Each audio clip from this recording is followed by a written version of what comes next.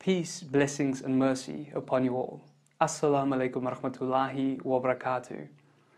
I've recently been asked a very profound question by accidental Muslims as to what my favorite verse is within the Holy Quran. Now, in order for me to answer this question and for you to understand my answer, I think it's important for you to know a little bit more about me as to where I come from. I was born and raised in a Christian family, and my father was a pastor. And for a very long time in my life, I was dedicated to following his footsteps. But in 2013, I was introduced to the Holy Quran and I started studying this revelation. And I eventually embraced Islam within my life. And I accepted that there's only one true Almighty God, that He is not begotten, nor does He beget, and that there's nothing like unto Him. And I accepted that Muhammad, peace and blessings be upon Him, is His messenger. Now, the question that I'd been asked as to what my favorite verse is within the Holy Quran touches upon a subject within Christianity that is at the very core of its foundation regarding the concept of salvation. Now, in the Christian concept, it's believed that the only means of salvation is through the blood of Christ. And this is due to a decree that was written by Paulus in the book of Hebrews, chapter 9, verse 22, where he says that without the shedding of blood, there is no forgiveness of sin. And this was used as a means of justification as to why Christ had to be crucified and why his blood had to be spilled for the salvation of his people.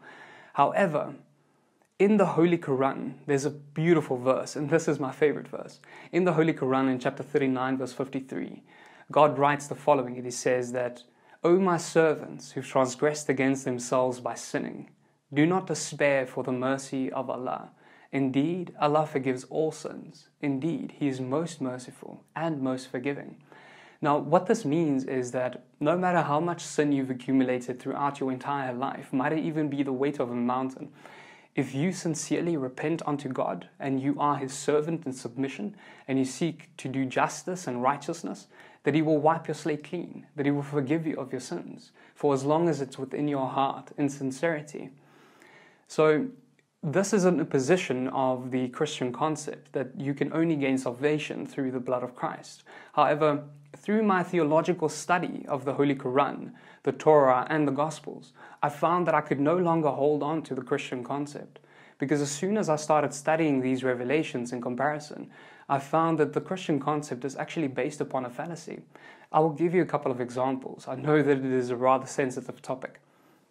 But in the book of Isaiah, chapter 1, verse 11 to 20, we find the following verse where God speaks and he says that the multitude of your sacrifices that you bring in front of me, what are they to me, says the Lord? I have no pleasure in the blood of bulls, rams, and goats. When you come to appear here before me, who's asked this of you, this trampling of my courts? Take your evil deeds out of my sight. Stop doing wrong. Learn to do right. Seek justice. Defend the oppressed. Take up the cause of the fatherless, plead the case of the widow. Come now, let us settle this matter, says the Lord.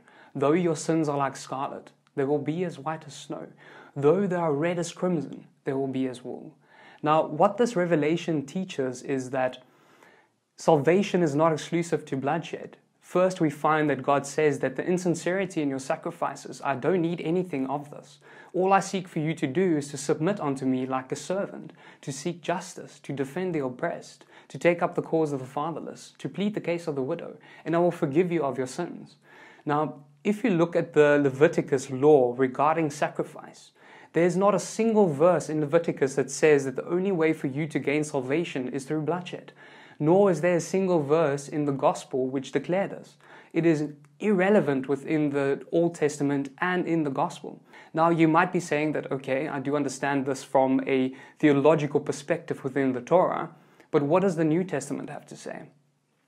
If we look at the message of Jesus Christ, and if you choose to follow in his footsteps, I truly pray that you follow him sincerely. Um, because what he says is that in Matthew chapter 9, verse 13, he declares as to what his mission is. And he says that I will have mercy and not sacrifice. For I did not come to call to the righteous, but I came to call the wicked to repentance. Meaning that he came to call the people that are in wickedness, that are not following the laws and decrees of God. He came to call them to repentance, to God.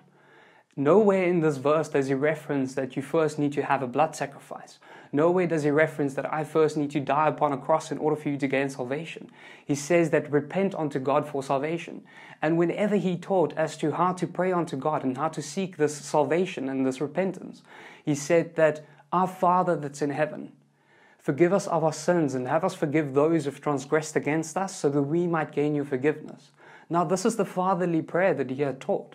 This is often repeated within the churches, and yet people do not realize what they are saying. Now, what is important to realize is that the decree that Paulus had declared in Hebrews chapter 9, verse 22, is but only to justify why Jesus Christ had to die upon the cross for the salvation of sins. Because without this decree, anybody can turn towards God and repent unto Him. And think about this logically. If you are born within this life and you've never met anyone that is in Christianity and you surrender unto God and you believe that there's a higher power and you cry out sincerely within your heart that this God would forgive you of your sins that you've committed, then surely He would give you forgiveness. Because that is what the Torah, the Gospels, and the Holy Quran says that you can turn to God directly, that you don't need this third party or this decree that was written by a man in order to gain salvation. That we can just submit and in sincerity that we will gain forgiveness. For God is most merciful and most forgiving. So let us turn back to this Almighty Creator and let us seek sincere repentance and let us grow in righteousness to be closer to Him.